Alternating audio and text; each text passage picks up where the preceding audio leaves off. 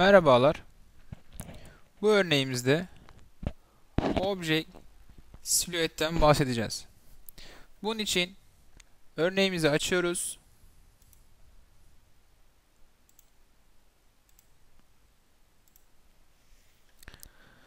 Parçamız geldi. Buradan Solid kısmına geçiyoruz. Komutumuz curve object silhouette.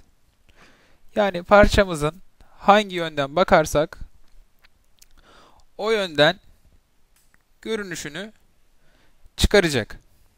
Komuta girdik. Bizden parçamızı seçmemizi istiyor. Orta tuşta onayladık.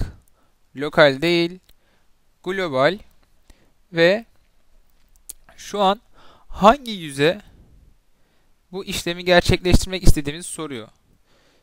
Biz burasını seçiyoruz ve sağ tuş OK dediğimizde yukarıdan bakacak olursak parçamızın yukarıdan görünen silüetini çıkarmış oluyor.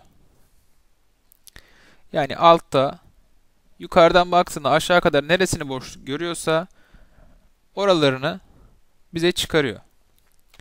Eğer biz bunu bu yüzde değil de farklı bir yerde istiyorsak sağ tuş Edit Feature deyip örneğin burada istiyorsak bu yüzeyde OK dediğimizde silüet görünüş buraya gelmiş oluyor.